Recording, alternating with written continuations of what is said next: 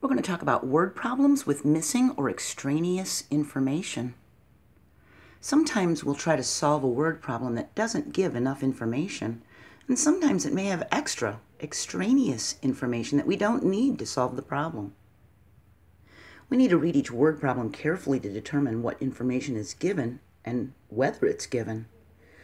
So extraneous means it's unrelated to the subject being dealt with. It means it's not important or necessary. It's not vital. It also can mean it's coming from the outside, like extraneous heat or extraneous light comes from the outside. It means it's irrelevant. So let's take a look at this word problem.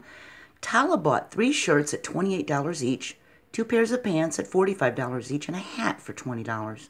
So how much did she spend on the shirts? Well, that was given right up in the beginning, wasn't it? That part of the problem. We have extraneous information in the form of the cost of the pants and the hat. That's extra info we don't need.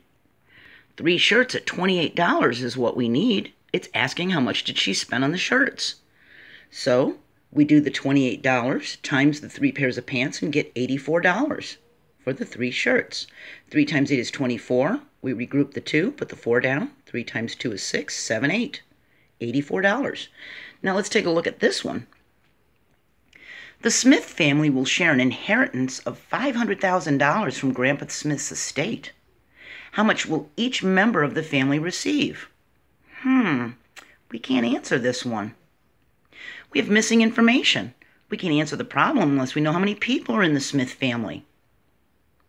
There's not enough information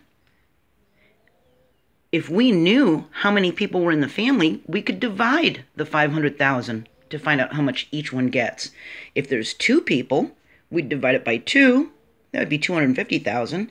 If there's five people in the family, they'd each get 100,000. If there's 10 people, they'd each get 50,000. But it doesn't tell us. We have no idea. So we can't answer this problem. We can't solve it. So sometimes word problems will trick you by giving you extra information or not enough information. So the really important thing is to try to answer the question that it's asking us. All right? I'll see you next video. Bye.